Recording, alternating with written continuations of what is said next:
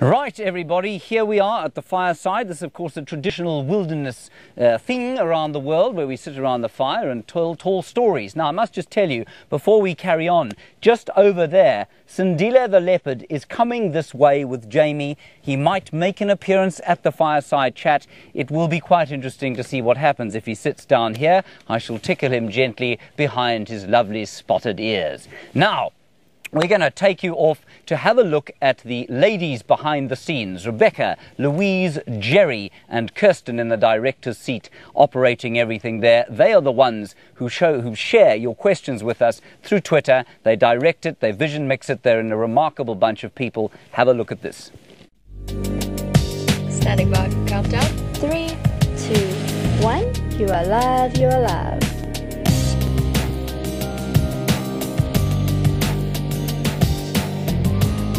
Question James Richard, New York. Which leopard is this? Standing by.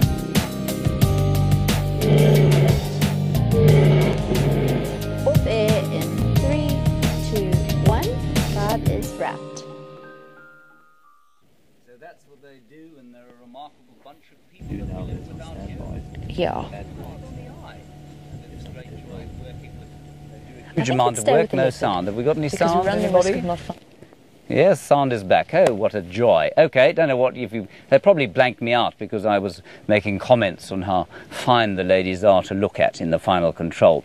Now, one of the things that we do out here is walk about on the bush, and I know that many of you, having watched Steph drinking that rather distasteful concoction of elephant dung, will be wondering how on earth it is that we bring you a live walking stream.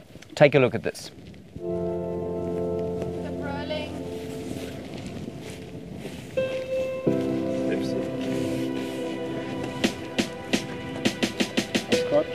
50 seconds, 50.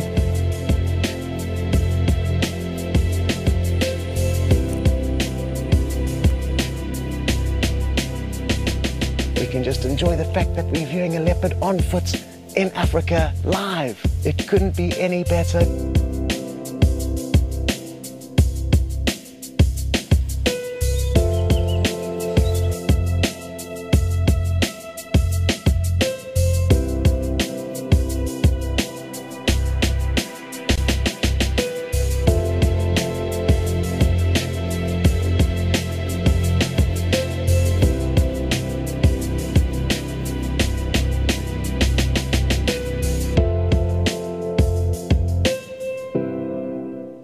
Now, welcome back, everybody. Next to me, I have the figure of Jean-Ray Gerding, of course. Now, Jean-Ray makes me very jealous, of course, because unlike the plover-like legs I have, Jean-Ray has legs which were, well, I mean, you could probably fire them out of a cannon. They're very large things, and he uses them to wander about the place. And of course, he, oh, give that back to me. Second, he has actually, he's, he's very dangerous job he has. He was bitten by a tick, I think, at some stage there. Now, Jean-Ray, all jokes aside, talk us through the dangers of being a bushwalk cameraman. Well, uh, I mean, the bushwalk is, I guess, similar to being on the vehicles. You've got the same animals out there. You've got the elephants, you've got the buffalo, but you don't have the protection of the vehicle. So um, we have to implicitly trust the team. We've got Herbert, who's on our safety detail, watching as uh, Steph presents, and I'm focused on uh, on the little frames, trying to uh, show the story that Steph is trying to weave for us. Cool. Now, while you, you say that you need the security detail, why do you need a security detail? What, why can't you look around and see what's going on? Well, I mean, um, I've got a big backpack on me, and I've got to really just be zoned in. I've got headphones on. I've Ah. got radio comms in coming from Final Control, so I'm not as aware of the environment as the presenters are. I mean, yesterday afternoon we walked into uh, elephants on foot. We walked into buffalo on foot, which has been described to me as you know cutting yourself and swimming in a shark tank. Yeah. Yes, I wouldn't quite go that far, but yes, certainly there are elements of danger around it. Talk us through the difference between being on a vehicle from a technique point of view. What's the difference between being on a on a vehicle where you've got a solid tripod and being on foot? So in bush, you handheld, you've got to walk, you've got sticks to watch over, and you've got this big backpack on your back. And you, you, you can't bend over or lean over. You've just got to be in a squatting position, moving around, keeping that aerial upright, you know. And if you get in a spot of danger where you have to retreat, you can't just climb a tree. You've got to, you know, you, you've got to weave yourself through the bush with this antenna wobbling all the way through. Did you do you find that uh, your history as a pole dancer helped you with those squats that you have to do holding the the camera? Immensely, I think lap dancing helped a bit more. But, Right, uh, that's enough of that. Thank you very much. Before we get too high into Jean-Ray's sordid history, let's head across to have a look at some of the new technology that's going on. We're going to be in the air, and you've met Ronald today. He was looking at things from the ground, and we're going to discuss shortly where that line is. You saw the buffalo react to Ronald today. Have a look at the new technology coming to Wild Earth.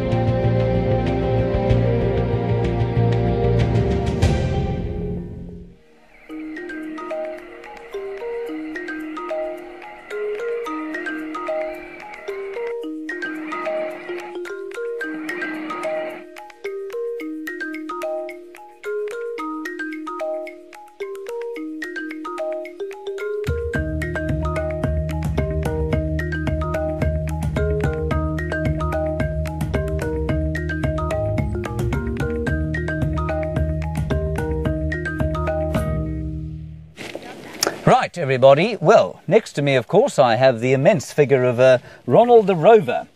Oh, and he, of course, is sitting with the Makulu boss, the father, I suppose, of Wild Earth and Safari Live, Mr. Graham Wallington. Thank you, James. Yes. Um, tell us about Ronald and how his evolution came about. Well, I guess Ronald is really, uh, you know, a, a, another step along the journey of trying to help uh, you guys get that much closer to the natural world around here, and that's what Safari Live is all about. Really, is giving a different per- point of view and a different way of connecting directly with the animals. And Ronald's our latest attempt to do so. He did a very fine job, I'm sure you'll all agree today. But we did have that one incident where, at the beginning of the show, there was a horn of a buffalo sticking in from the left hand side of Ronald's vision, and I moved the rover. And the buffalo reacted, well, I suppose you could say negatively. He did get a fright. He didn't go away, but he did back off. Where's the line?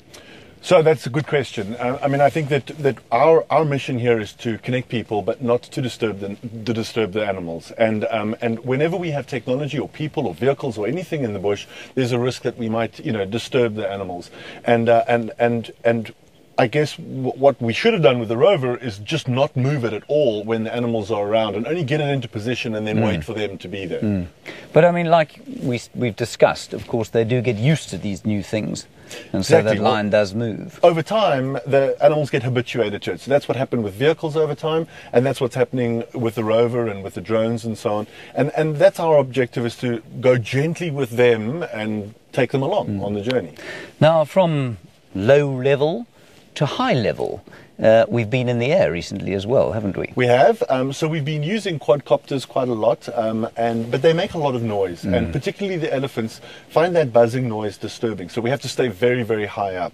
Our next mission is to start using fixed wing drones, um, which are much quieter, and to have zoom lenses, stabilized zoom lenses on them, so we can stand far off but still get that close, tight view of them. And not only during the day, I mean, the future does hold us flying around here at night, doesn't it? Absolutely. So that's the next big thing as well is to um, use the you fly at night with a thermal imaging camera so that we can see the heat signatures from the animals, but also to use infrared cameras on the vehicles because infrared is invisible to the animals, um, which means that we're not disturbing them with the white light. Brilliant. Thank you very much, Graham. Yeah, you may now be excused. Uh, we are now going to take a look behind the scenes at, I think, and I'm sure all of you think, one of the most romantic jobs a human being can have that of a wildlife cameraman.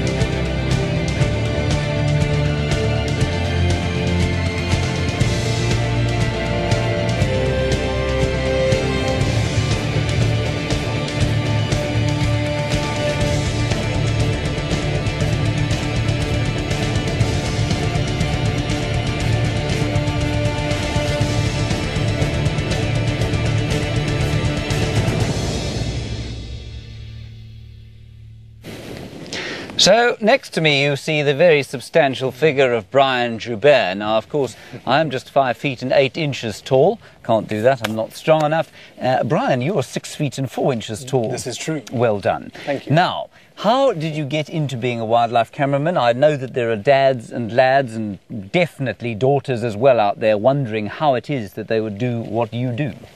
Well, the number one key ingredient to making it as a wildlife cameraman is to have passion.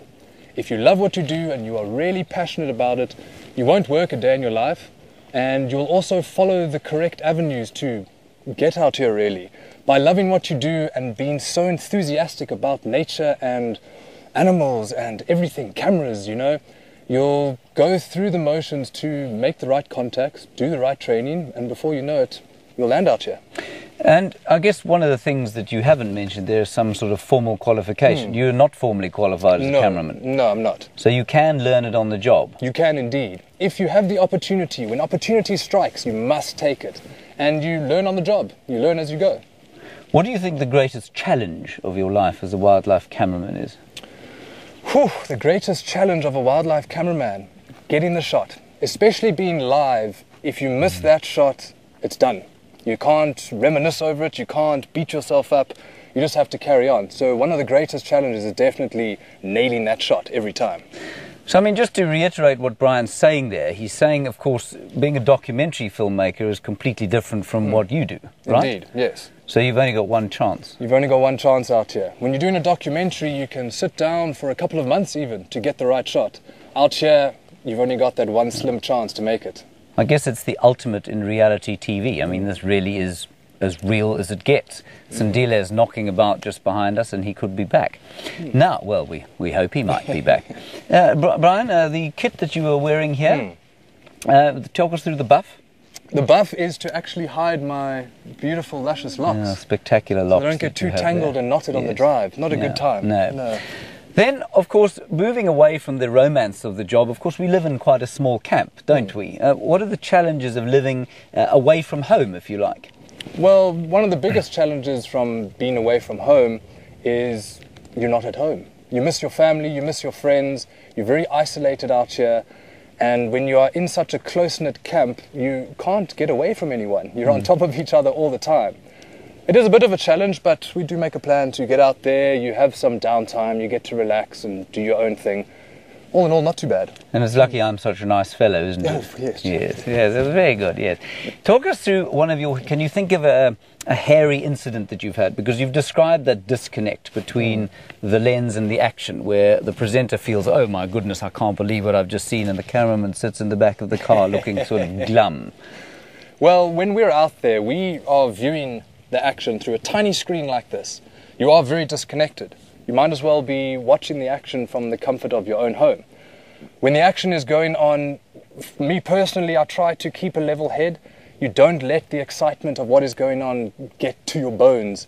If you get it to your bones, you start shaking. Mm. Maybe there's an elephant close to the vehicle and you, you, you don't know what you're doing then. So, hairiest moment, I would say we had some hyena being eaten by a wild dog. We had one wild dog, oh sorry, one hyena being chomped by a pack of wild dogs. It was very exciting. The savagery of the situation was unbelievable. But again, because I'm viewing it from such a small screen, hmm. I might as well not have even been there. Right. Mm. Now, everybody, Brian's not only a talented wildlife cameraman, are you, Brian? No. What else are you able to do, Brian? I can beatbox. Oh, goodness. Oh dear. Would you like to lay down a beat for I Father's Day? I would love to. Are you ready, James? yes. Here we go. That's too fast. Okay, all right. Okay, slow down. All right, I'll slow it down for Okay. you. Here we go. Here we go.